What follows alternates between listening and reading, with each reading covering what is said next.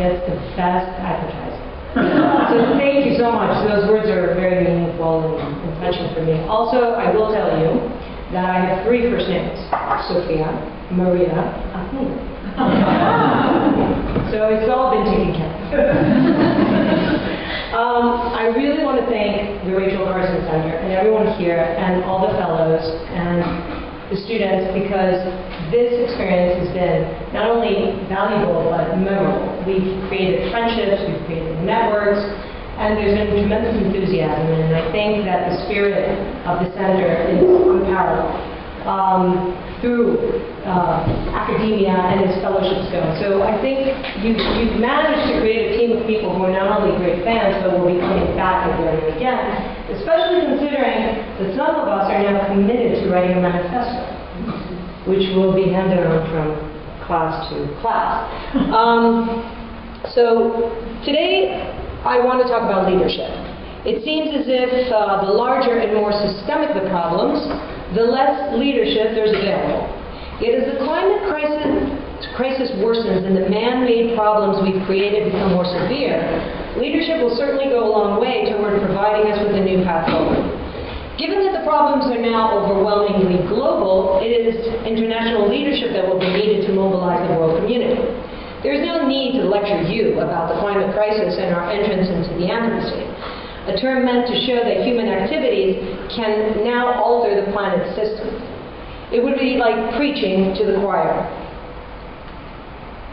And I know everybody loves Latour, so I have a Latour quote for this. My book project seeks to identify new possible partnerships that could provide the necessary leadership as we enter into uncharted waters. While we have all been conditioned to understand the outcome of doing nothing, what we call business as usual, namely storms, droughts, floods, disease, hunger, to name a few, we're having great difficulty imagining a world that will have to rethink the covenants on which we built human civilization, especially in its modern version, which seems to be morphed into a uniform construct across the globe. Now, Simon Dalby poignantly noted that politics is not now just a matter of institutions, sovereignties, governance, arrangements, parties, movements, leaders, and states. It's now unavoidably a matter of cities, pipelines, technological innovations, and discussions about the future configurations of the planet, the new material circumstances wherein humanity has become effectively a geological force, requiring, which requires a much more fundamental rethinking of the geo in geopolitics than most analysts have so far contemplated. We are changing the planet, that's clear. Politics are changing because of this. And solving this kind of Dalbian geopolitical challenge still requires at its core political leadership and action. In this quest for leadership in the Anthropocene, I propose that collaboration between the EU and China could become our best hope to confront both the climate crisis and the challenges that lie beyond. Why these two countries, you may ask? Am I purposefully ignoring the U.S.? Also note I'm calling the EU a country, for lack of a better term.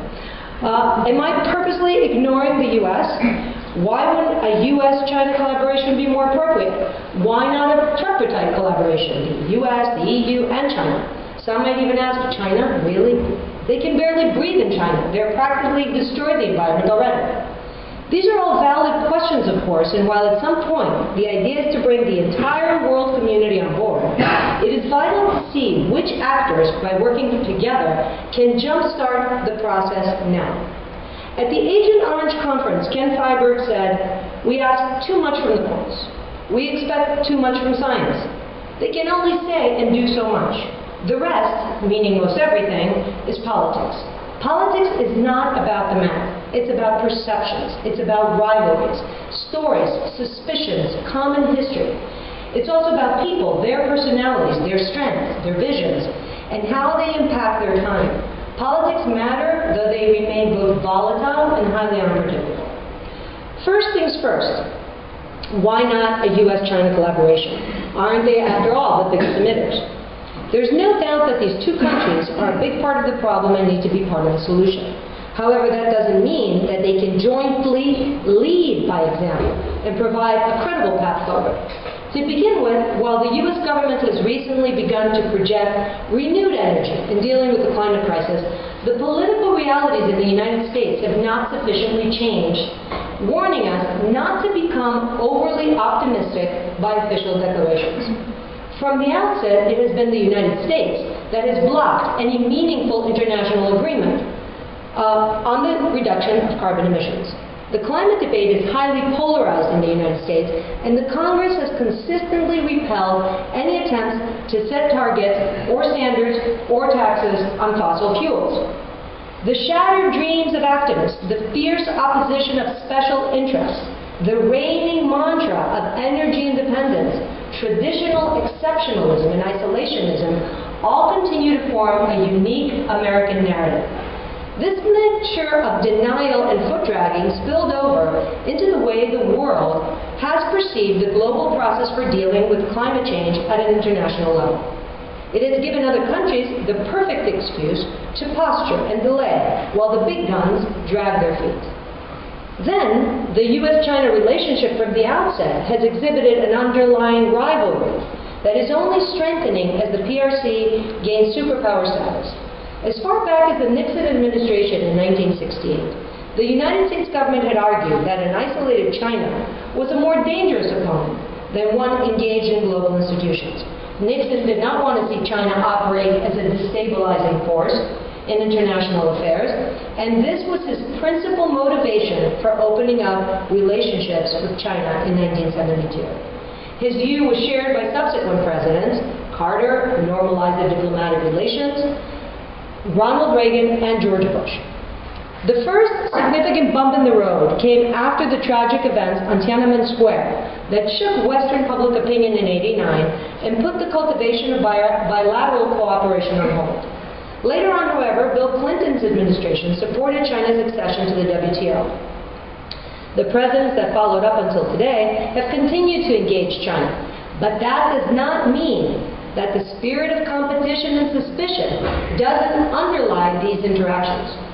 While engagement is often sought, the U.S.-China rivalry is alluded to rhetorically for both domestic and international consumption. In his State of the Union speech in 2013, for example, President Barack Obama attempted to push renewables in the energy mix by underscoring the competitive nature of the U.S.-China relationship. Four years ago, other countries dominated the clean energy market and the jobs that came with it. We've begun to change that. Last year, wind energy added nearly half of all new power capacity in America. So let's generate even more. Solar energy gets cheaper by the year, so let's drive costs down even further. As long as countries like China keep going all in on clean energy, so must we. He didn't mention Europe anywhere, did he?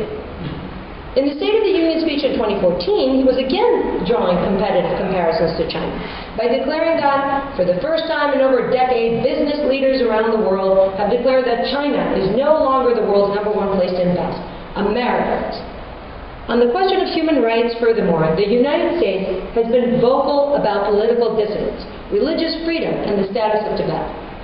U.S. rhetoric on these topics is an irritant and a source of friction in U.S.-China relations. U.S.-China rivalry in both the economy and geopolitics is the buzzword in Washington and is echoed in Beijing.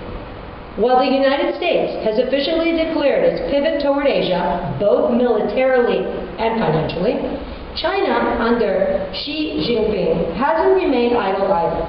It's leaning toward the West with a variety of bold new initiatives that are catching the world's attention. China's recent initiatives to build a new Asian infrastructure investment bank, seen as a rival to the World Bank, the IMF, and the Asian Development Bank, and to reimagine and rebuild the Silk Road, offering a Chinese notion of the Chinese dream in Central Asia and beyond, has fanned geopolitical tensions as these book covers clearly show. In November 2014, Obama and President Xi, Xi Jinping addressed the problem of climate change during their summit in Beijing. It took the world by surprise, although their respective teams of experts had been negotiating for a long time prior to this announcement.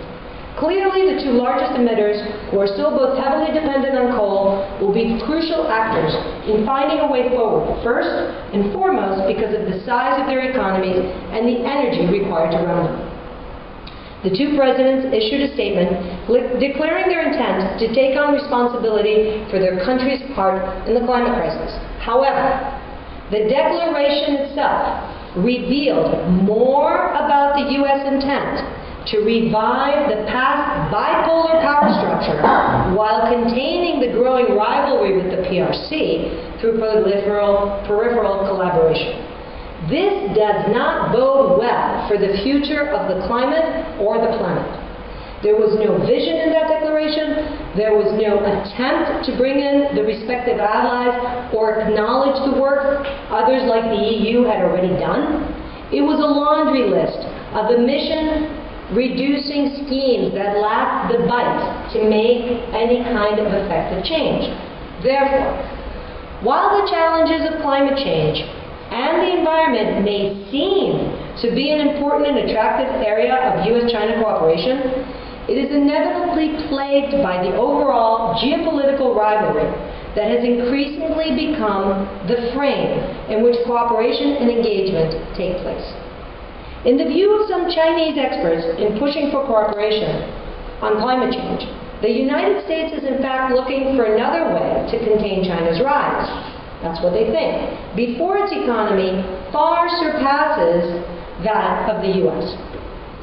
This pervasive suspicion held by experts such as Yu Hongyuan of the Shanghai Institute for International Studies are not uncommon in China, especially given America's record in the climate change negotiations and its own rhetoric on how a binding agreement would negatively impact its growth and its economy.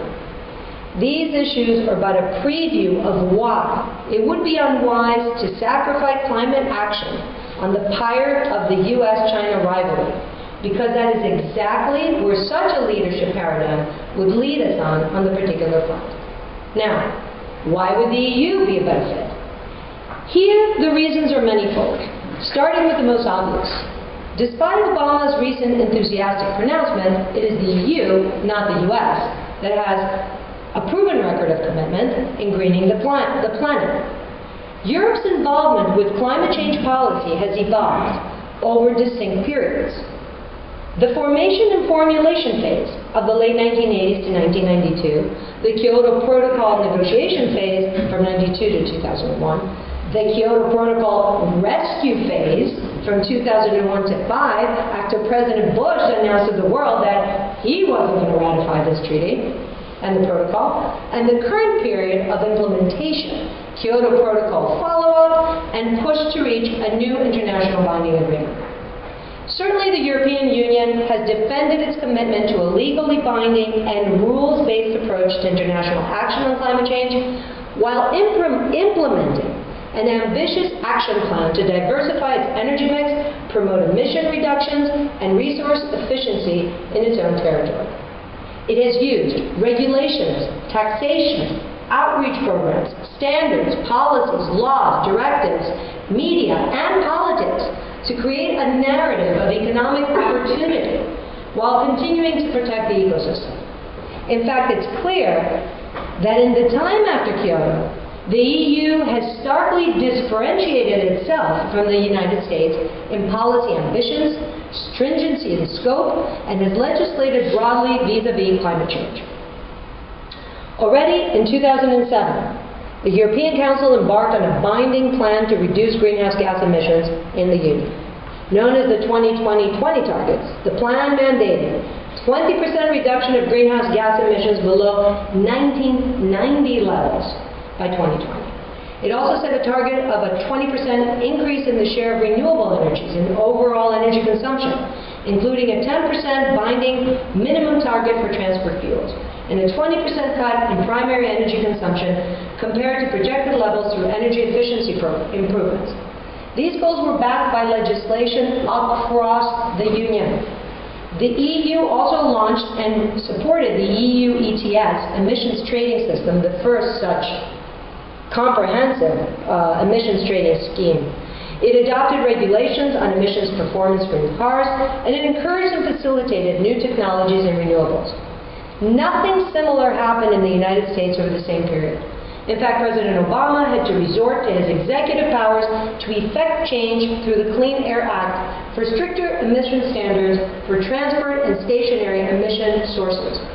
Even today, Europe forges ahead, having now mapped out its more ambitious 2030 goals for the Union as a whole, while countries like Germany are aiming for broader energy transformation known as Energiewende. On July 13 of 2015, the European Council adopted the legislation that is necessary in order for the EU to formally ratify the second commitment period of the Kyoto Protocol. Clearly, Europe is demonstrating that its commitment to climate action is backed also by a larger philosophy of development and life in the Anthropocene. Why EU-China leadership could work? There are a number of reasons why EU-China leadership in the Anthropocene could be effective. The EU, in describing its own foreign policy objectives, supports a multipolar world, the importance of cooperation through international institutions, and adherence to the rule of law. China, as an emerging power, shares Europe's views on multipolarity and working through international institutions to help maintain stability and cooperation worldwide. Until now, China had maintained a stance of non-interference in the internal affairs of other states and has strategically avoided antagonizing other industrial powers to focus on its domestic development. Nonetheless, this has already begun to change. And as I always say, if you ask the question enough times, you'll eventually get an answer that you may not like. China has begun to reassert itself in Asia and abroad though strong development aid, through strong development aid programs in Africa, South America, and elsewhere, much like the EU, that is in fact the largest donor of development aid in the world. According to those closely monitoring Chinese, Chinese politics, the President of China is personally invested in matters of foreign policy. He's not only traveled extensively already, but he's invited many foreign uh, visitors in his own country. Yet, the Chinese president has also come to has to come to terms with pressing domestic realities. China today is already the world's second largest economy and the largest consumer of oil on the planet. In just under 50 years, China has radically transformed into a global economic powerhouse. This transformation, begun by Deng Xiaoping, has come at an astonishing cost to the environment and the well-being of its citizens um, a fact that can no longer be ignored. Rhetorically, the Chinese government acknowledged the problem about three decades ago, establishing the State Environmental Protection Committee in 84 and the first environmental protection law that was formally issued in 89. After the United Nations Conference on Environment and Development in 92, China was one of the first countries to formulate and carry out a strategy of sustainable development.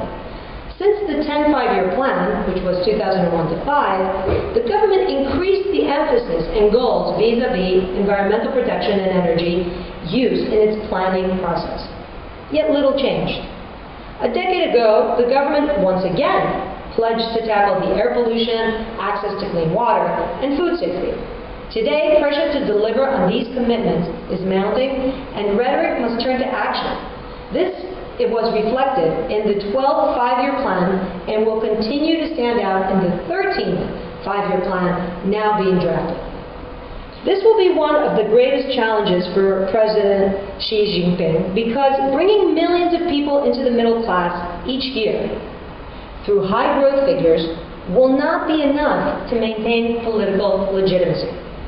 The health risks to citizens by the heavy smog, unsafe water, and problems in the food supply are only growing, and so is the realization and discontent that this kind of environmental degradation has gone far enough and must now be reversed.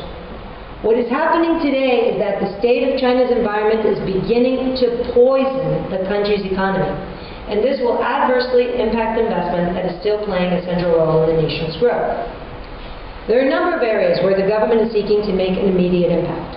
First, environmental regulations already existing in the books need to be tightened and enforced. Monitoring enforcement in the regions has been challenging for the central government. We think that it's also well centrally planned, but then everything goes to the regions and nothing happens. Secondly, there's an ongoing rethink taking place about where industries should be located. Up until now, the coastal areas of China have been rapidly transformed and industrialized, but there is now a plan to shift some of this industrial capacity to the inland. Third, urbanization continues at very high rates.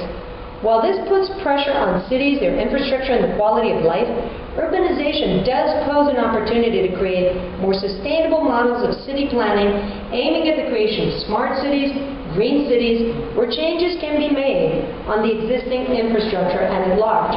According to some statistics I have, 1% of the only one, okay, 16 out of 20 most polluted cities are in China.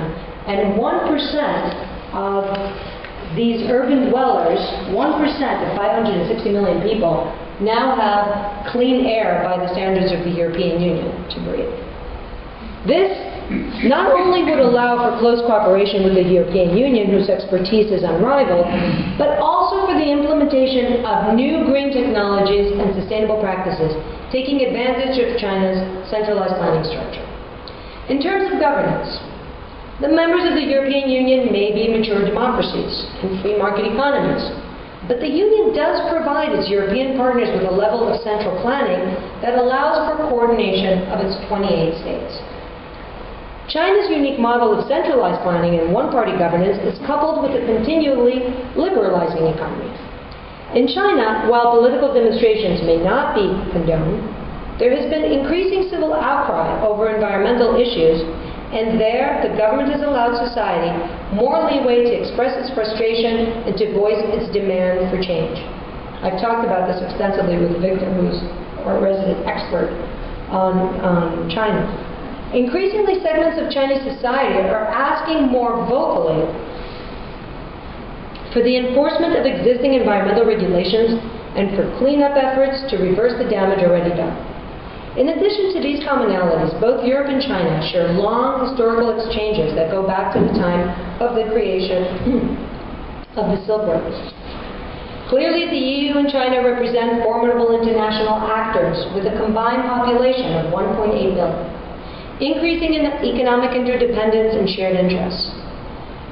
For the President of China's recent trip to Europe in spring of 2014 had included a component of a historic visit to EU headquarters, which underscores both the strengthening relationship and the desire to build upon and expand ties beyond trade agreements.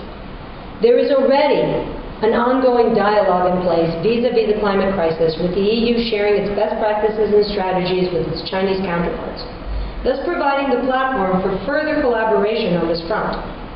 The European Union and China formed the Strategic Partnership in 2003, and that is built on the initial 1985 EU-China Trade and Cooperation Agreement. The ground is already set for the promotion of an ambitious agenda to fight climate change. The EU and the PRC have introduced three pillars of high-level exchanges the high-level strategic dialogue in 2010, the high-level economic and trade dialogue in 2008, and the high-level people-to-people dialogue, which is also going to play a pivotal role in 2012. The two powers underscore collaboration opportunities in the document describing the nature of their 2020 um, agenda for strategic cooperation, highlighting the emerging green sectors. The EU has also undertaken to facilitate the building of China's emission trading market they already started with a pilot program and are quickly expanding to other cities in China. And when you say pilot program in China, you begin with 250 million people. So the pilot project was 250, and now it's going to 500 million. Um, the EU has also, so yes, the EU has helped them with this, and they're working together to build low carbon cities, communities, and industrial parks, thus controlling greenhouse gas emissions. Although the building blocks for such a partnership are already there, much needs to be done for both entities to fully absorb the potential of such collaboration. As China asserts itself on the world stage, expanding ties across the globe, it still remains caught up in the affairs of its own neighborhood, and of course, in the narrative of the simmer, simmering rivalry with the United States, especially after the latter's declared strategic pivot. For the PRC, the U.S. rivalry doesn't only pose a security threat, in military terms, or an aggressive economic competitor. It also poses a deep political threat to the regime, offering the lure of the democratic process to an increasingly robust middle class clearly on the rise. These realities could be an additional reason for China to meaningfully deepen its relationship with the European Union, which expresses its views and projects its power in a very different manner than, in the, than the United States, which often seems more heavy-handed and aggressive in exporting liberal democratic values and principles around the globe. Working closely with Europe on the climate crisis may be just what China needs to escape the push and pull of the self-fulfilling prophecy of its inevitable clash with the United States. It will also allow it the opportunity to retrace its steps and find how to more efficiently and sustainably provide for its citizens without plundering the planet's resources. This kind of initiative could be a godsend for the EU as well. Although the EU has done much to move forward toward the decarbonization of its economy, to weave sustainability through its policies and laws, and to champion a binding international agreement to deal with the climate crisis, the EU has lost the opportunity to make all this work become its central vision for the future. It has been bogged down in an internal dispute within the Eurozone that will not be resolved by pinching pennies and institutionalizing austerity as the new normal. It needs a dream, an optimistic vision for the future, and a quintessentially European. Climate action, the protection of the environment, and the quest for a meaningful narrative for the Anthropocene provides a perfect fresh storyline for Europe. Working together with another, another major power to achieve this kind of transformation would only add more value and purpose to the venture. Now, of course, in every budding relationship, there are hurdles. Forging a bolder and deeper EU-China alliance requires rethinking on both sides. While China views the EU as a powerhouse of technology and innovation, as well as a critical trading partner, it does not perceive it as a geostrategic competitor. So they don't think that they're that important. That's what it really means. They're not as powerful. The ongoing EU debt crisis in the eyes of policymakers in China serves as an indicator of EU political weakness and perhaps decline. And while it was once thought of an alternative, as an alternative to U.S. dominance, now this belief has lost its momentum. Europe's hesitation or inability to create a stronger political union doesn't allow it to be seen as a global player with a clear voice in international relations, though Europe manages to wear different hats at different times pretty successfully, I think. Apart from these constraints, opportunities remain plentiful, and the possibilities of further exploring this burgeoning relationship still abound. There, there is, furthermore, a growing interest in academic and policy circles for new research to understand EU-China diplomacy both traditional and soft, and the assessment of the effectiveness of the current strategic partnership. Having spent a decade of my life in the public sphere, as a policymaker in both good times and crisis situations, I still believe that politics will show the way forward. As Connie Hedegaard said, who was the former EU Commissioner, oh, there we go, for climate action said in September of 2014, during a period of continuing recession, the height of the Russian-Ukraine crisis, the outbreak of war against ISIS, all of which were dominating international headlines and distracting politicians uh, from longer-term challenges, why is it still vital to focus on climate? And she said, some voices doubt if this is the right time to focus on climate. With crises raging from Syria to the Ukraine and from Sudan to Afghanistan, to name a few, shouldn't we first deal with these imminent threats? And her answer was also simple and disarming. Well, the World Meteorological Organization's report last week said that global emissions are still rising and that climate change is already here, adding further instability in an already unstable world. This is why we need a global framework to tackle climate change. It's my sincere hope that though Europe and China come from very different starting points, they could travel together on a path to stewardship that will be absolutely essential in the years ahead. Thank you.